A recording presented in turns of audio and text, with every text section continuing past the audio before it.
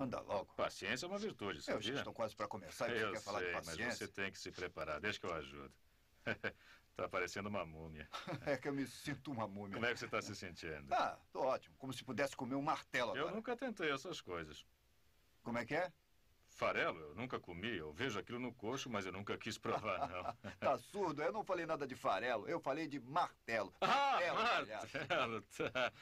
Eu é que tô ficando maluco. Mas, Apolo, me faz um pequeno favor, tá? Quando subir naquele ringue, vê se você não cansa demais, tá? Tá. Não vou cansar demais. Bom, é que você não sobe num ringue há cinco anos. Eu só tô pedindo pra você não exagerar muito. Mas que papo é esse? Parece que eu sou velho. Eu tô na melhor forma da minha vida. Eu sou mais forte, mais rápido. Não, não, Apolo, não tô dizendo isso. Nada disso. É que. É, pessoalmente, se fosse eu, eu não ia me importar de adiar por algumas semanas. Adiar?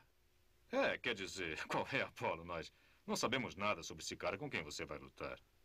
Escuta, tá certo, tá certo. Vamos dizer que eu adie.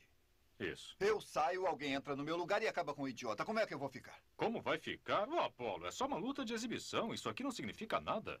Não, não, não, não, não, não. É aí que está errado. Isso não é só uma luta de exibição que não significa nada. Somos nós contra eles. Não está percebendo qual é? Garanhão, talvez você não entenda o que eu estou falando agora. Mas vai saber quando acabar.